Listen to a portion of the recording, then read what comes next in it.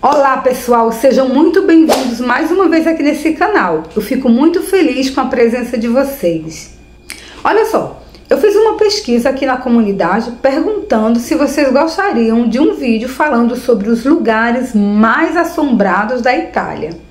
E 91% das pessoas disseram que gostariam de um vídeo falando sobre esse assunto. Então eu decidi é, falar sobre três lugares os mais assombrados da Itália. Se de repente vocês quiserem fazer uma visitinha, eu vou deixar aqui e vou falar um pouquinho sobre cada um desses locais, tá bom?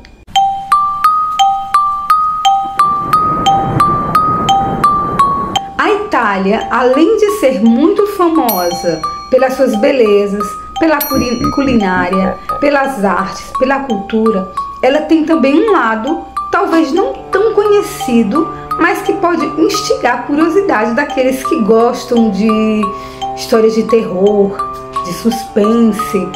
E são os locais assombrados. Como todos os lugares do mundo, existem alguns lugares que, é, alguns locais que têm as suas histórias, as suas lendas e os seus fantasmas.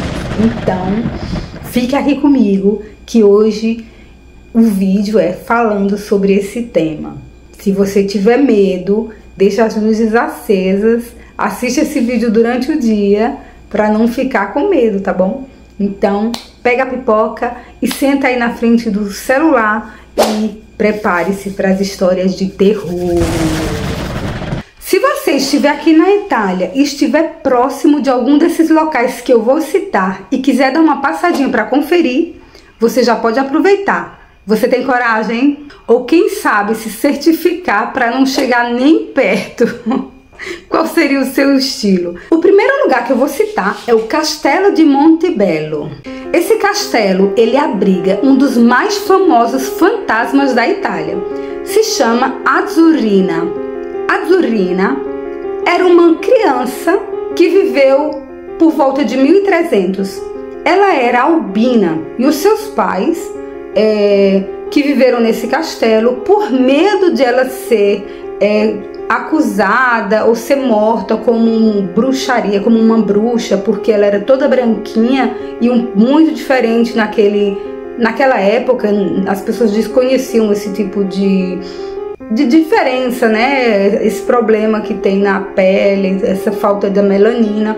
Então eles tinham medo que a criança fosse acusada de, bruxa, de bruxaria e pudesse ser morta. Então eles pegaram a filha, deixaram trancada, tinha sempre trancada no castelo e tentaram pintar os cabelos dela de preto. Só que o que é que acontece? O cabelo dela não, não mudou, não ficou preto, ficou azul. Então, por isso o nome Azurina, que significa traduzindo é como se fosse azulzinha, porque a menina ficou com esses cabelos azuis. E um certo dia essa criança ela desapareceu e nunca mais foi encontrada. Hoje é, as pessoas é, ouvem, não só hoje, mas já né, de, depois que ela desapareceu, depois de um tempo, as pessoas passaram a ouvir o barulho, dizem seus gemidos dessa criança e os barulhos dela. Coisas, coisas estranhas começaram a acontecer nesse castelo. Inclusive, é, dizem que até gravaram, tem gravações dos sons emitidos por este fantasma. O que é que vocês acham? Vocês teriam coragem de ir nesse lugar? Eu não sei não se eu teria, se eu teria, viu? Eu não sei se eu teria coragem, mas quem sabe com muitas pessoas e durante o dia eu poderia é, visitar. Mas o lugar é bem sombrio, bem assustador. Lá nesse local eles têm a foto dessa menina com essa cara assim assustadora naquele local sombrio e as pessoas vão lá visitar, mas se você estiver pelas redondezas, pode aproveitar e tirar suas próprias conclusões. Se existe, se tem esse fantasma, se vocês vão ver alguma coisa e fazer a prova, né?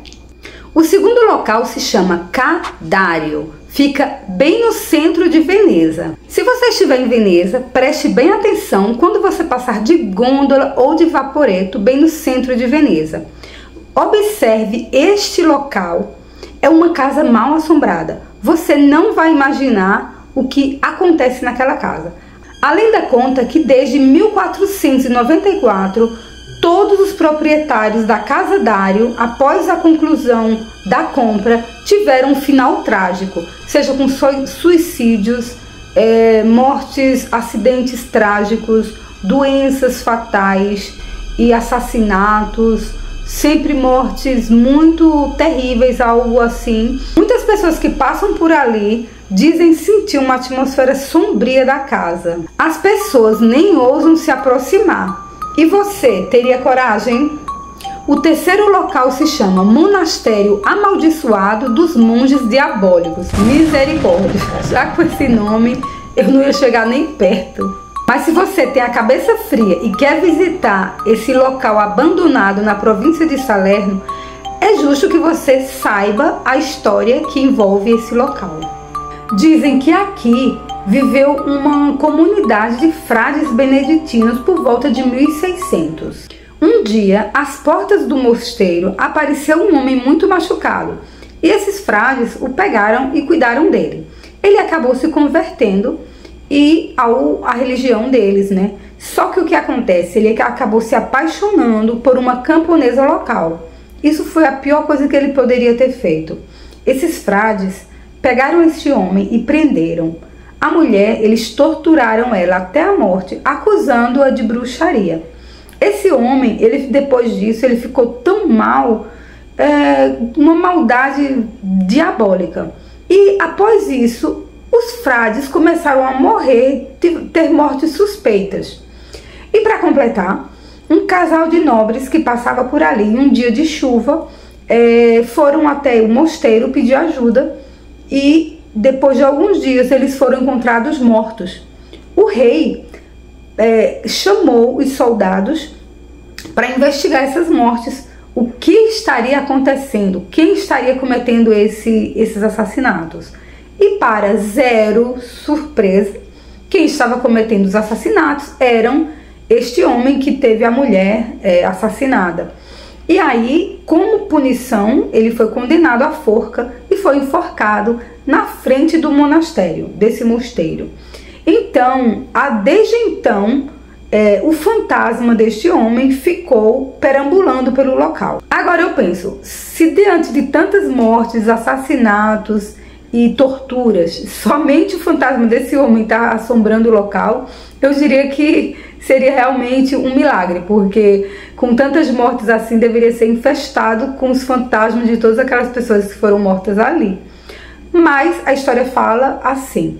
E aí, vocês teriam coragem de conhecer este monastério com um nome tão terrível com essa história, com esse fantasma que está perambulando ainda hoje por lá? Deixa aí nos comentários o que vocês achariam. Se vocês teriam coragem de visitar um desses locais. É muito normal que esses velhos castelos sejam infestados de fantasma.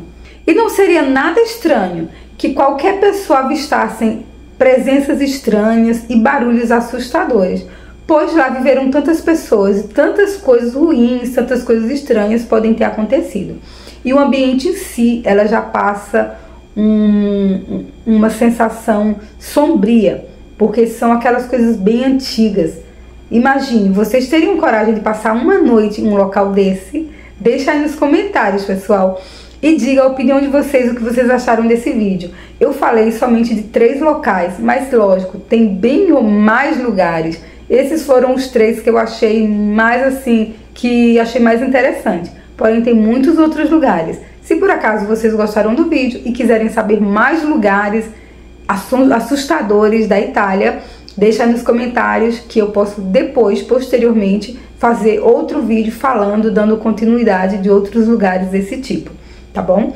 Eu vou ficando por aqui, pessoal. Deixa o like aí para ajudar a fortalecer aqui no canal, tá bom? Não esqueçam de se inscrever se por acaso vocês não são inscritos. É, se puderem vocês compartilharem. A presença de vocês aqui é muito importante e que vocês possam assistir o vídeo por completo. É, agradeço desde já. Fiquem com Deus e até a próxima. Tchau, tchau!